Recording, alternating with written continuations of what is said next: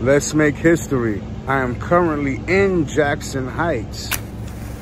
Originally, this was part of the town of Newtown. Remember, Queens was spawned from three huge towns, just as Brooklyn was spawned from six. In 1909, a corporation bought up the land which is now Jackson Heights. And this was due to the fact that the Queensboro Bridge opened that same year. People looking to buy lots and small patches of land to capitalize on the traffic that the Queensboro Bridge would bring into the region.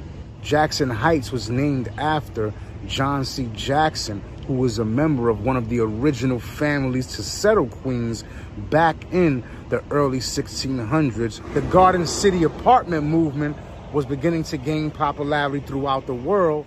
And so once the Great Depression hit in the 1930s, that came to a screeching halt. And then you had an architect named Al Butts, who was unemployed, naturally and he created a game. He lived in Jackson Heights and he created a game. What we know today as Scrabble didn't start off that way. It started off slightly different and it had a different name, Crisscross Words. When he began to create early versions of Scrabble, people began to congregate at this church that I'm standing in front of, the Community Methodist Church in Jackson Heights, and people would get together in the community center within the church and play the game.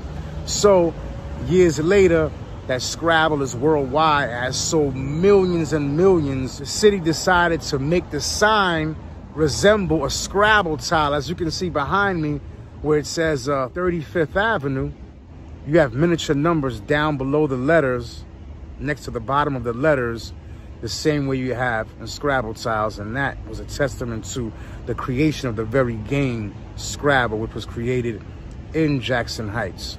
Jackson Heights actually has its own documentary. It's called In Jackson Heights and was released in 2015.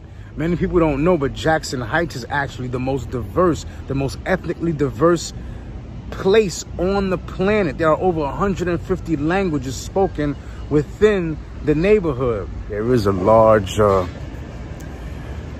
a large population of Latin Americans here in Jackson Heights, where you have people coming in from different places around the world, they actually honor the American flag in stark contrast to many people who were born and raised in New York City and, and in America who actually shun the flag. And walking through Jackson Heights, you can see many American flags, more so than you would see in the average neighborhood.